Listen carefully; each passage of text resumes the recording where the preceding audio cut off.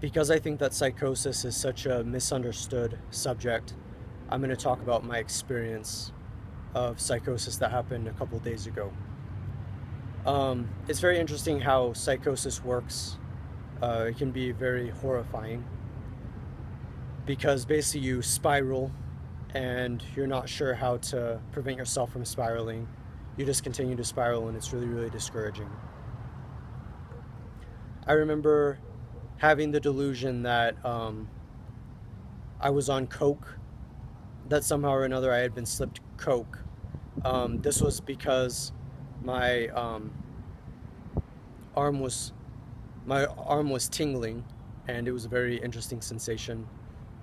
And um, that was hard, um, but I continued walking, and as I continued walking, it's it felt like my body was breaking down. So it felt like my bones were breaking. It felt like my muscles were collapsing, and my back hurt a lot.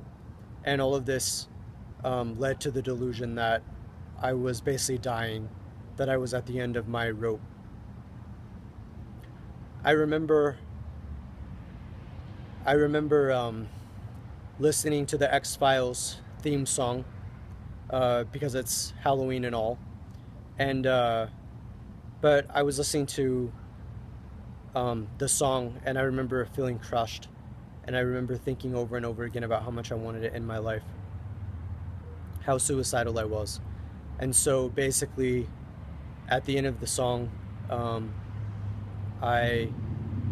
Uh, basically did the um, did a gesture of uh, shooting myself in the head, um, and I did it because it's kind of hard to explain. It's more like a, a thing of mood and atmosphere, but the idea of walking behind an alley and walking further and further until eventually you disappear, and then when you disappear, you die.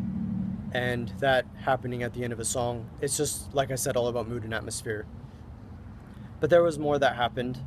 I remember talking to a checker and telling them how I hoped my credit card would slice off my dick, about how I thought that Camus was right, that the only question worth asking is if we should live or die, and that I agree with people that say that we should commit suicide. I remember saying that I wish that the banana was a dagger so I could stab my heart.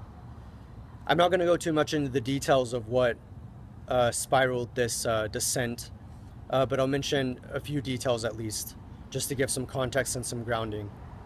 Basically, I was told that people that overanalyze are serial killers or have the mind of a serial killer.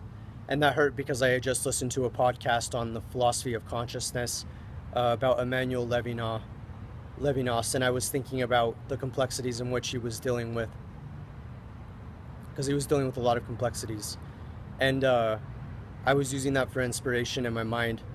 And then I was told that, uh, among other things. Um, and that really disturbed me, especially because of the, um, especially because of the stereotypes surrounding mental illness, um, and surrounding all of the things that people with mental illness experience, such as stigma about violence, that they're likely to commit a crime, that they're going to commit a crime, that they're basically just a ticking time bomb. Indeed, I was very, very delusional during all of this, and I've mentioned some instances of how I was delusional. I've also mentioned some instances of how I was also suicidal. Um, there's a lot more that could be said, but I'll leave it at this for now. I hope you enjoyed this talk, and thank you.